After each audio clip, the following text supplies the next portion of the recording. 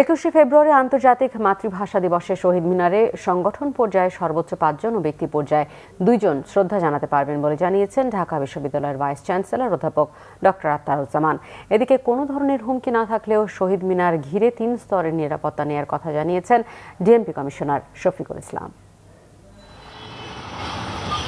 একুশে ফেব্রুয়ারি আন্তর্জাতিক মাতৃভাষা দিবসে শহীদ মিনারে শ্রদ্ধা জানাতে আসা জনসাধারণ ও সংগঠনগুলোর নিরাপত্তায় প্রস্তুত আইনশৃঙ্খলা বাহিনী।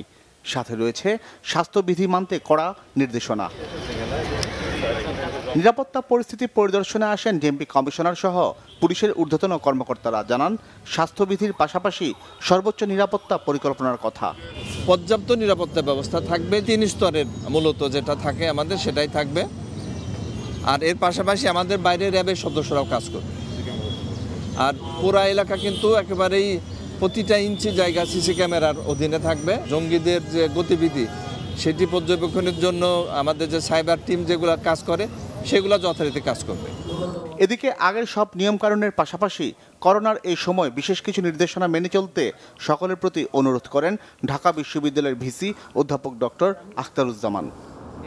সংগঠন এবং প্রতিষ্ঠান পর্যায়ে সর্বোচ্চ একই সঙ্গে সর্বোচ্চ পাঁচজন এবং ব্যক্তি পর্যায়ে একই সঙ্গে সর্বোচ্চ দুইজন। এই পুষ্পর্গ অর্পণ করবেন। মানে সকলেই পুষ্পর্গ অর্পণ করতে পারবেন, সকলেই শ্রদ্ধা নিবেদন করার জন্য সেটি ব্যবস্থা থাকবে। শুধুমাত্র এই নিয়ম নীতিগুলো অনুসরণ করে স্বাস্থ্যবিধি অনুসরণ করে এই কাজটি করতে হবে। বক্সিবাজার জগন্নাথ হল ক্রসিং চানখারপুল, টিএসসি ও উপাচার্য বাসভবনের সামনে দিয়ে শহীদ মিনারে কেউ প্রবেশ করতে পারবে না। প্রবেশ করতে হবে পলাশী মোড় থেকে জগন্নাথ হল ক্রসিং দিয়ে আর শহীদ মিনার থেকে বের হতে হবে রোমানা চত্বর থেকে দোল চত্বর দিয়ে। জিয়া খান, বাংলা ভিশন, ঢাকা।